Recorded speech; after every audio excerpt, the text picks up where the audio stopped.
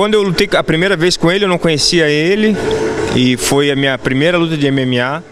Treinei um mês para aquela luta porque me falaram que o cara era um boxer e não ia me levar pro chão. Só que, porra, ninguém me falou que ele tinha 20 lutas profissionais, tudo nocaute.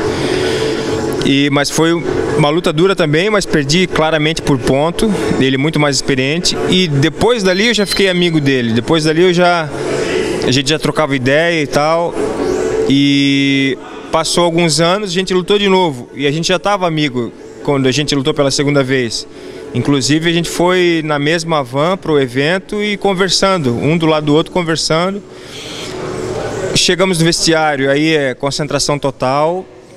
A luta foi uma guerra, é, dei meu máximo, ele deu o máximo dele, tenho certeza. Acabou ali, voltamos, fortaleceu mais ainda a amizade, porque eu acho que a luta, assim como qualquer outro esporte competitivo, é competição, é profissionalismo, não é uma coisa pessoal. Se eu levar, cada vez que eu levar alguma coisa, uma luta para o lado pessoal, isso vai me influenciar muito negativamente.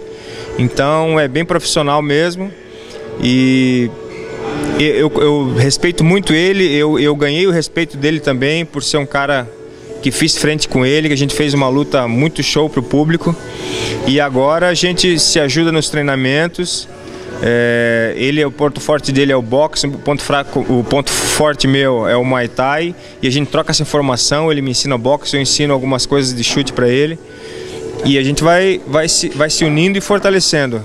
Ninguém quer, na, na real, acabar com o outro, enterrar o adversário. Ele quer ganhar de você, né? Se der para ganhar por nocaute, beleza. Eles querem, todo mundo quer lugar ao sol. E, e o Vitor Miranda, um lutador fantástico, mas mais fantástico ainda como pessoa. Quem tive, eu tive a oportunidade de conhecer ele, fazer uma amizade.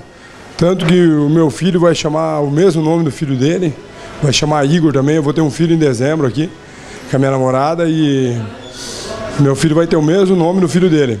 O filho dele veio a ter uma, uma, um triste fim, né? Aconteceu uma tragédia aí na vida do Vitor e. Bom, falando do, que eu tenho acontecido aqui nos treinos, ele tem me ajudado demais. Aqui a gente tem feito muito sparring duro ter feito. É um cara que, que ajuda tudo, até chutando eu tô, pra você ter uma ideia, nas últimas, nas últimas vezes aqui. E ele tem somado muito pra mim, cara. Eu não tenho 100 palavras pro Vitor Miranda. Desejo tudo de bom aí. Se Deus quiser, com duas lutinhas aí, ele tá, tá dentro do UFC.